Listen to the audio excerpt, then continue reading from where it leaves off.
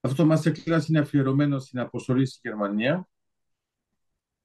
Ε, είναι πάνω ότι δύσκολο να φανταστούν οι Έλληνες πώς είναι τα πράγματα στη Γερμανία, ακόμα και σε σχέση με τον ελληνισμό.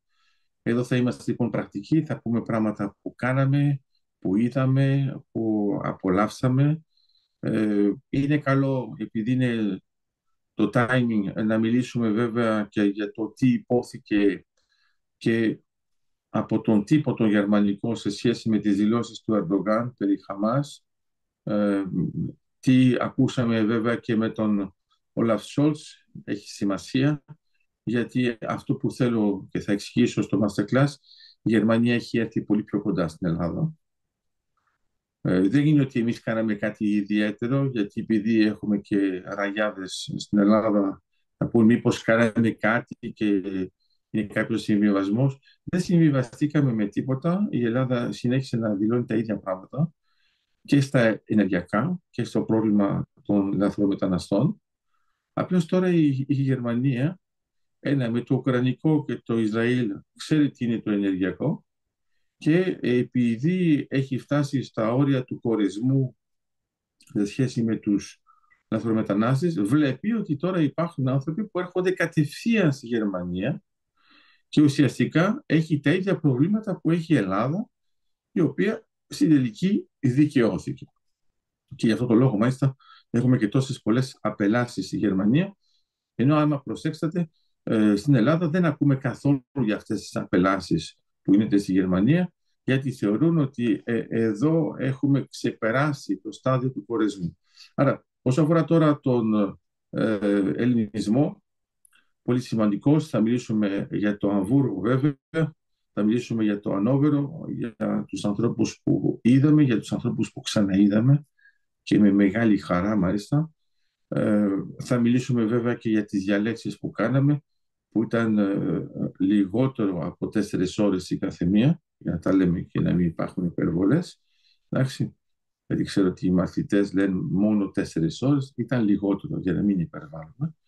Και ε, αυτό που έχει σημασία, θα το δείτε, το, το στοιχείο της πίστης είναι πολύ σημαντικό, όπως ε, εξηγούσα ότι στην πραγματικότητα όταν πιστεύεις όλα γίνονται και γίνονται αν τα αξιοποιείς, όταν δεν πιστεύεις παιδεύεσαι και είναι ψυχοθόρο, γιατί ξεχνάς ότι το φως νικά. Άρα όταν το βλέπεις επί του πρακτέου με ανθρώπους ζωντανά ε, που το χαίρεσε, που έχουν το ελληνικό στοιχείο βαθύτατα. Θα μιλήσουμε βέβαια και για την ε, ψήφο του απόδημου ελληνισμού και τα προβλήματα που τους έχουμε βάλει γιατί δεν το αφήνουμε τόσο απλά. Ε, αλλά αυτό εξελίσσεται. Αλλά έχει μεγάλη σημασία και τον ρόλο που έχουν σαν συνδετικό κρίκο μεταξύ της Ελλάδας και της Γερμανίας το ελληνογερμανικό στοιχείο πάνω στο οποίο δεν βασιζόμαστε συστηματικά, ενώ έχει μια τεράστια δύναμη και είναι σε μια περιοχή που έχει μεγάλη αξία, γιατί ουσιαστικά είμαστε στο κέντρο της Ευρώπης, είμαστε στον πυρήνα της Ευρώπης. Ε, το σύστημα της Γερμανίας, επειδή είναι μια ομοσπονδία, ξέρει ακριβώς ποιες είναι οι αξίες για κάθε κρατήδιο και πώς λειτουργούν ενωμένα ή ομοσπονδιακά. Είναι καλό να το έχουμε στο μυαλό μας, γιατί αλλιώς δεν το καταλαβαίνουμε.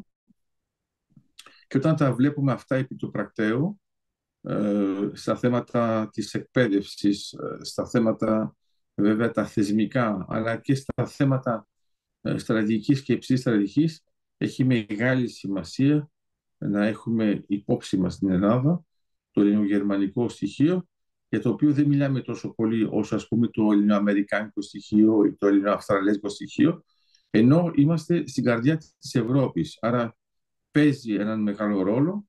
Υπενθυμίζω και για αυτούς που μας παρακολουθούν ότι όταν κοιτάζουμε τι έχουν αποφασίσει στο G7 και όταν μιλάμε για ε, τον νέο δρόμο μεταξιού που αφορά την Ινδία, στη συνέχεια τα Ηνωμένα Αραβικά Εμμυράτα, Σαουδική Αραβία, Ιορδανία, Ισραήλ, δεν πρέπει να ξεχάτε ότι μιλάμε για την Κύπρο, μιλάμε για την Ελλάδα, στη συνέχεια την Ιταλία, στη συνέχεια για την Γαλλία και καταλήγουμε στη Γερμανία.